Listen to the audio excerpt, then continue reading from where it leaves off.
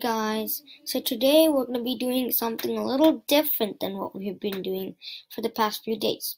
We're going to be coding Minecraft. Seriously, Minecraft.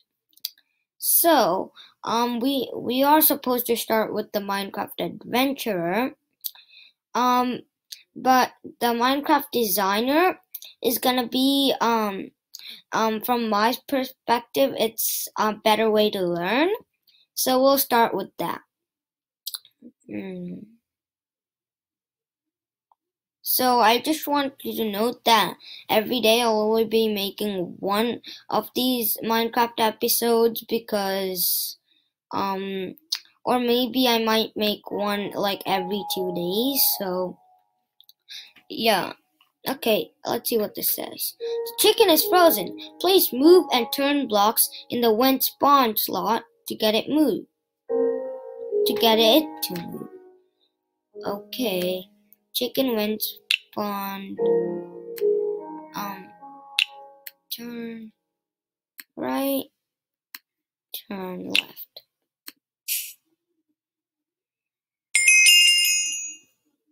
Okay. Let's see what this says. So that puzzle, what it just made us do was it made us make the chicken um, move so that it seemed like a real game. But that's not really how chickens move. Because like if you have ever played real Minecraft, which I have, um you would see that whenever you see chickens, they move forever. So let's see. Great, the chicken moved, but then she stopped. In games, chickens will walk forever. Yeah, that's exactly what I said. Use a forever do loop to keep these chickens moving. So what this wants us to do is use a forever do loop so that um we can save time and it becomes easier for us to code. So forever do mm, um we want to move forward, turn left, and turn right. Okay, let's run, let run and see how.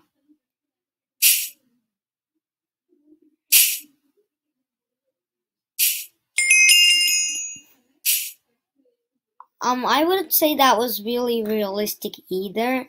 So we'll see what this gives us for for, our puzzles. Um. Okay, this says, now the chickens look weird moving the same way. Games use random moves to make things look real. Make the chickens turn random.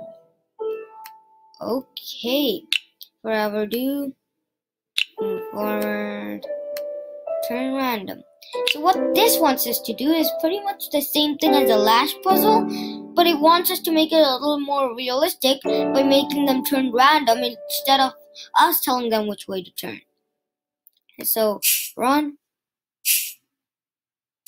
As you can see now, it's not like they're all following the same commands.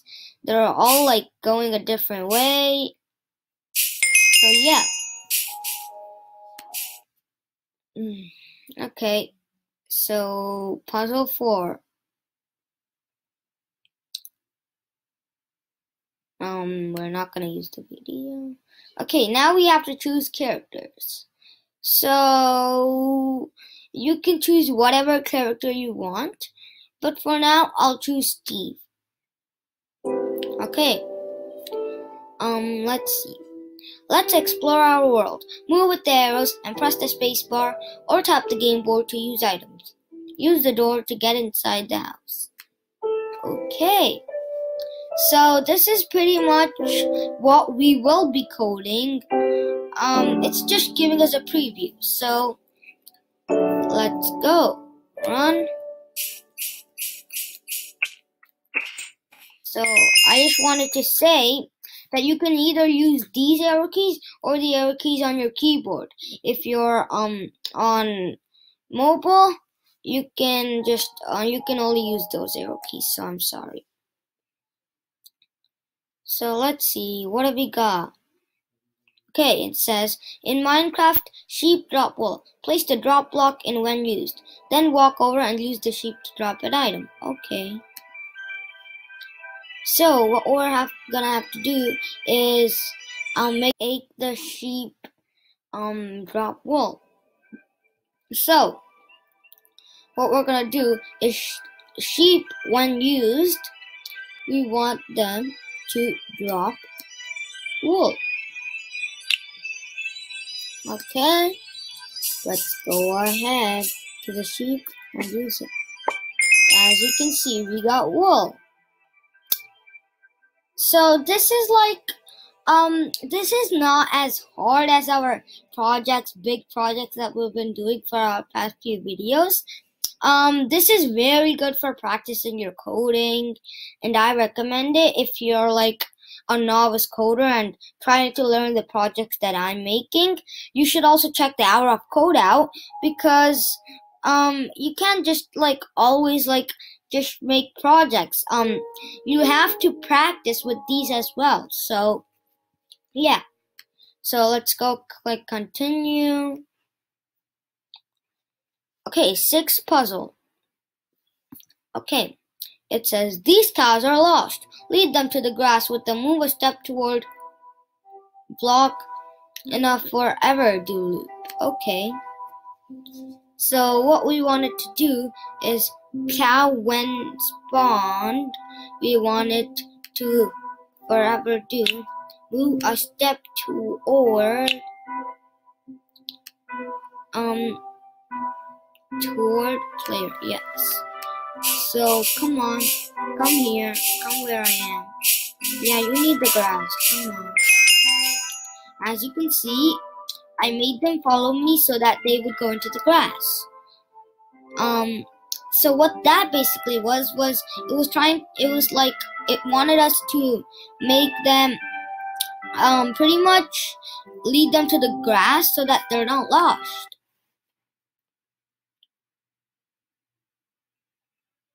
So, seventh one. Okay. It says, the path to your sheep is blocked by a stone wall. Luckily, there's a creeper here. Creepers explode after you touch them. Get the creeper to explode the wall so you can reach your sheep. Um, yeah, sure. So what we want to do is people when touched. Yes, that's what we want to do. Um, yeah.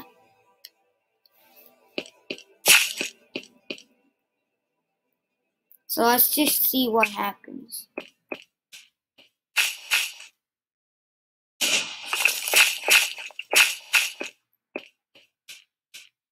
as you can see, it actually didn't create a way for us.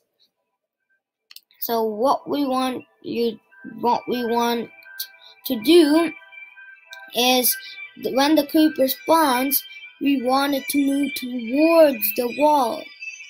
So where what we have to do is I believe move forward.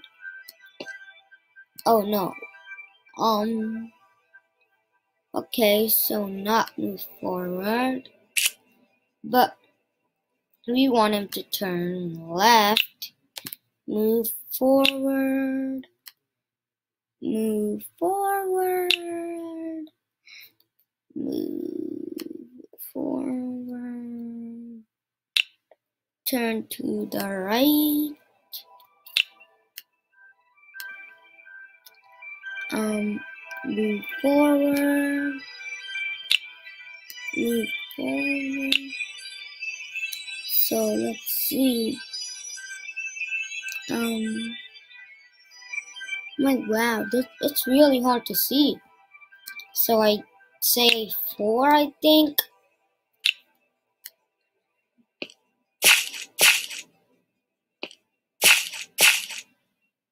Okay, now I gotta go explode him.